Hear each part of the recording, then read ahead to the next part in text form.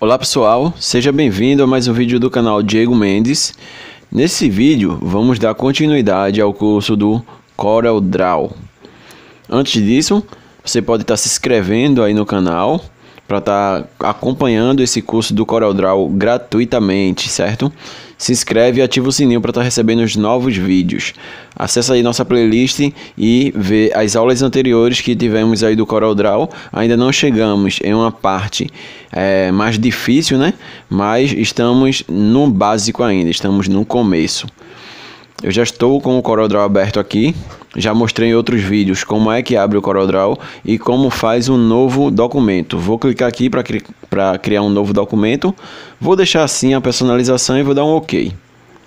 Nesse vídeo a gente vai aprender aí sobre zoom, vamos aprender também sobre seleção, dando continuidade aí o vídeo de seleção e desfazer, fazer e refazer.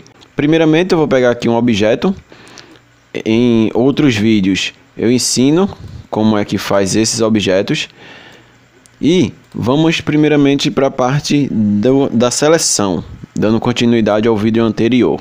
Para a gente fazer a seleção, como eu já disse, é só clicar em cima do objeto e arrastar. É como se esse cursor aqui fosse a nossa mãozinha e é como se fosse para a gente pegar alguma coisa, tá? A gente faz o que? Bota a nossa mão em cima do objeto, segura e leva ele para algum canto. A mesma coisa que esse cursor, você coloca em cima do objeto, clica e arrasta. É a nossa seleção, beleza?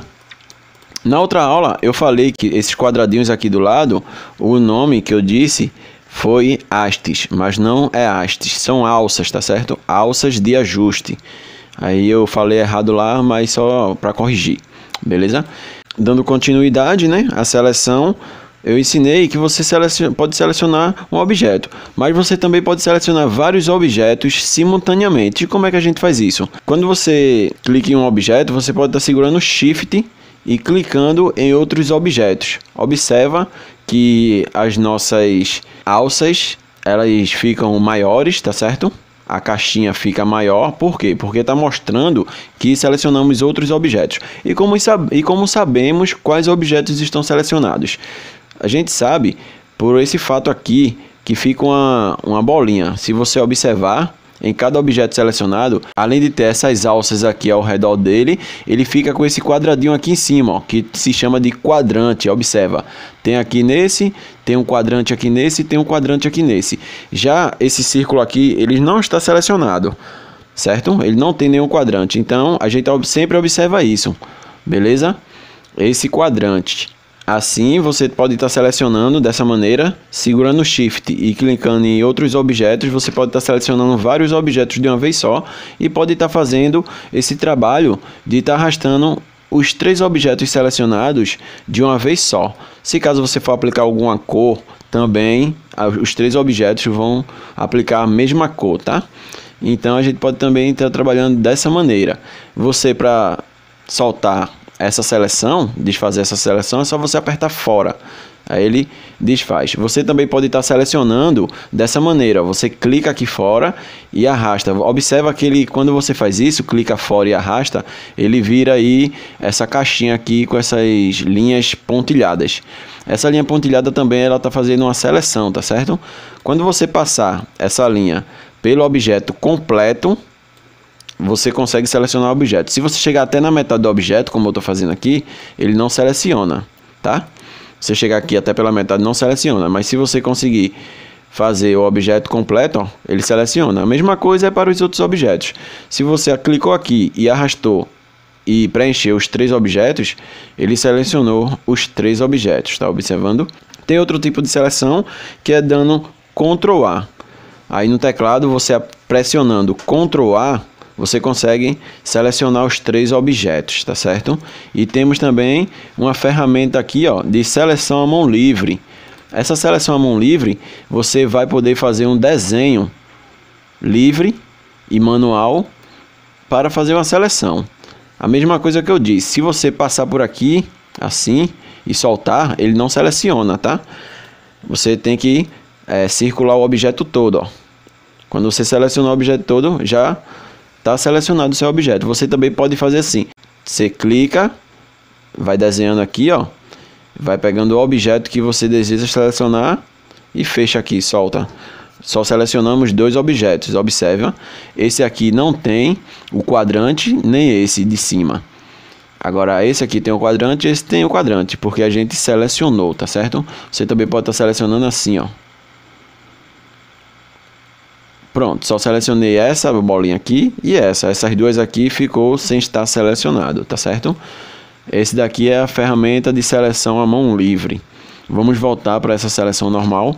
Agora vamos falar um pouco sobre zoom, beleza? Para você selecionar a ferramenta zoom, é só você apertar no Z do seu teclado, ele vai virar essa lupa. E para você dar o zoom é a mesma coisa que estiver usando é, a ferramenta seleção. É só você clicar e arrastar vai aparecer aquele mesmo pontilhado e você solta. Quanto menos um você der, ó, o quadrado for menor, ele vai aproximando mais, tá vendo? Você pode dar um zoom aqui bem pequeno, ó. Beleza? Para você tirar o zoom, você pode estar tá clicando com o botão direito do seu mouse. Você retira o zoom. Para dar um zoom, você é só clicar com o botão esquerdo, fazer esse quadradinho e soltar, certo? Aqui tem uns, uns, botões para você estar tá utilizando. Esse botão aqui é mais um. Esse botão aqui é menos um. Esse botão aqui, ele vai dar zoom em todos os objetos. Ó. Quando você clicar, ele vai dar zoom em todos os objetos que tiver na página. Se caso tiver um objeto lá embaixo e você estiver só trabalhando aqui nessa área, quando você escolher a ferramenta zoom, que pode ser aqui ó, ao lado, na barra de ferramentas, e clicar aqui, ele vai dar um, vai enquadrar todos os objetos que estiver dentro do nosso documento, certo? Esses outros zooms aqui, ó, esse zoom aqui você enquadra a sua folha. Esse zoom aqui você enquadra a largura da página. Observa que ficou a largura da página. E esse zoom aqui ele enquadra a altura da página. Certinho, encaixa na nossa tela, tá certo? Também temos a opção de dar zoom pelo scroll do mouse, que é o botão de rolagem do mouse, aquele botãozinho que você fica rodando no mouse. Você pode rodar para frente, ele dá o zoom, e você pode rodar para trás, ele também tira o zoom, né? Ele tira o zoom, beleza? Para você mudar aqui, porque às vezes eu vou dar um zoom, ó, quando eu vou tirar o zoom, aí fica muito ruim é, de enquadrar o meu zoom. Para você modificar isso, você seleciona a ferramenta seleção, ou não precisa, né? Você vem aqui em ferramentas, opções e aperta em ferramentas. Clicando aqui em ferramentas, você pode vir aqui na opção de zoom e enquadramento e você marcar essa opção aqui, ó. Centralizar mouse ao aplicar o zoom com a roda do mouse, tá? Você marca aí essa caixinha, deixa marcado e clique em OK. Vai ficar melhor para você estar tá fazendo enquadramento com esse botão de rolagem aí do mouse, tá certo? Fica bem melhor. Temos também os atalhos. Se você clicar no F4, ele vai enquadrar todos os objetos que tiver na nossa tela. Tá vendo? Ele enquadrou todos os objetos. Se esse objeto tiver mais para cá, você apertar F4, ele vai enquadrar beleza? F4 é todos os objetos. Se você apertar F3, ele vai dar menos 1, ó. Você pode dar menos 1, chega até um limite. Quando chega aqui nesse limite, ele não dá mais, ele não diminui mais o zoom, tá certo? Porque já chegou no limite. Se você apertar Shift F4, ele vai dar o zoom na sua página. Independente se tem um objeto lá fora, ele só vai dar zoom na página. E se você clicar Shift F2, ele vai dar zoom no objeto que está selecionado, entendeu? Se esse objeto aqui está selecionado, eu der Shift F2, ele vai dar zoom apenas no objeto selecionado. Ele vai enquadrar a tela no objeto selecionado. Se eu clicar nesse objeto aqui, ó, está próximo da página aqui e clicar Shift F2, ele vai enquadrar o meu objeto selecionado, beleza? É bom você estar tá treinando isso para ficar mais fácil de você fazer o enquadramento aí onde você quer. Se você quer enquadrar na página, se você quer enquadrar no objeto ou se você quer enquadrar em todos os objetos, certo?